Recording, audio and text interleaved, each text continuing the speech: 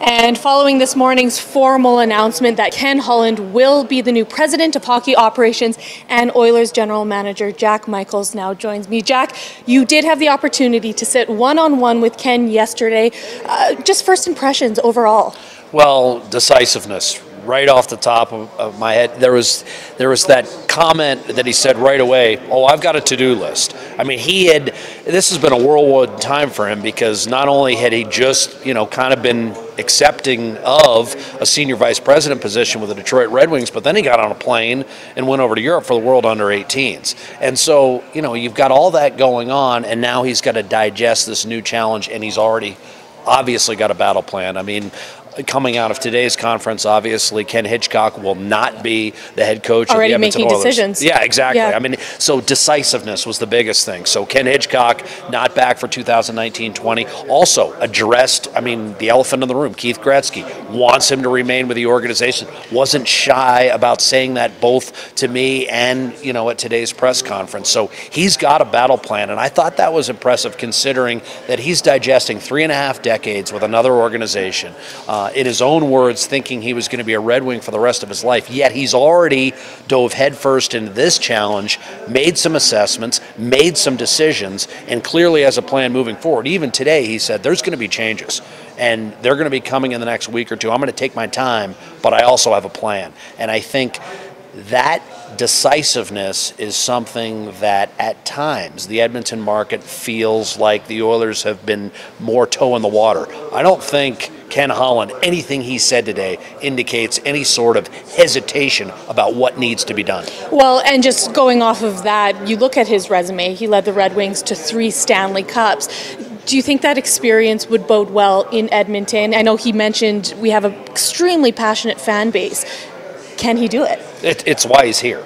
I mean, that's why he's here. That resume is why he's here. And ultimately, Bob Nicholson, after sifting through a ton of quality candidates, and don't get me wrong, I mean, there's a ton of quality people out there. And if we were talking about someone else today, we'd have plenty of positives to focus on in that regard. But clearly, Bob is thinking, Bob Nicholson is thinking, I've got the resume I've always want. I mean, why would I choose someone else right. over a guy who's got three Stanley Cups to his credit, who was part of a winning organization for 36 years, and an organization that was mired in mediocrity for so long? When he transitioned from being a goaltender in that organization to a scout, the Red Wings had been dreadful for years. They had been one of those teams in the history of the league that had missed the playoffs 12 out of 13 years. And he was part of a staff that slowly built them into the organization they became in the 90s and 2000s. So when Bob Nicholson looked at that, for him it was a no brainer. And as far as whether he can do it, I don't know that, and no one does. But what I do know is he's got a plan to do it. And he said in his own words, maybe it'll work out, maybe it won't. Yeah. But he's got an idea of what he wants to accomplish. Well, and like you said, he said that you know, 22 years as GM of the Red Wings. No, he's not going to be perfect every single time. He's no not going to make the right moves. No. That's exactly it, right? Everybody is human, but we just have to wait it out and see what happens here. And he's off to Bakersfield tomorrow, I believe he said, right. to check out our prospects and, and go from there and make those changes. Well, that's the benefit of experience, Jess. And again, I think it's another kind of notch on a resume that Bob Nicholson just couldn't overlook is when you have the benefit of experience and you realize that perhaps you sign a player to a contract that isn't working out, it's a, in his terms, it's a bump in the road. It's nothing to get rattled about. It's something that all 31 teams in the National Hockey League, every one of them has a contract they probably regret.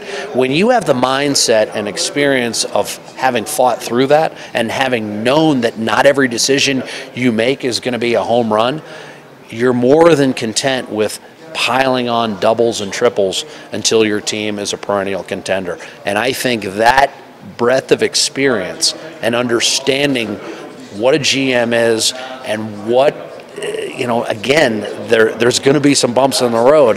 I think that's important, especially in a marketplace like this, where at times there's an overreaction to almost everything that goes on.